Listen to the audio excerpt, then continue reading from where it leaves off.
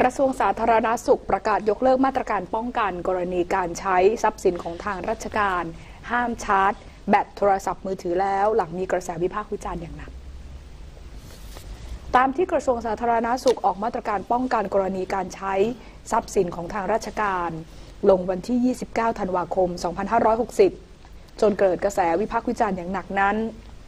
ล่าสุดนายแพทย์เจษดาโชคดำรงสุขปลัดกระทรวงสาธารณสุข ได้ออกหนังสือเวียนยกเลิกประกาศสำนักงานปลัดกระทรวงสาธารณสุขดังกล่าวแล้ว หลังเกิดข้อถกเถียงในสังคม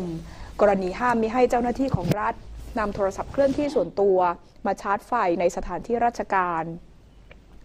ทั้งนี้ในหนังสือเวียนยังระบุว่า พิจารณาแล้วเห็นว่า เนื่องจากมาตรการตามประกาศฉบับดังกล่าว มีประเด็นความไม่ชัดเจนในทางปฏิบัติ จึงเห็นควรให้มีการทบทวนเพื่อความเหมาะสม และความชัดเจนในการปฏิบัติ สอดคล้องกับการปฏิบัติงานของเจ้าหน้าที่ จึงให้ยกเลิกประกาศดังกล่าว มีผลตั้งแต่วันที่ 6 มกราคม 2561 เป็นต้นไป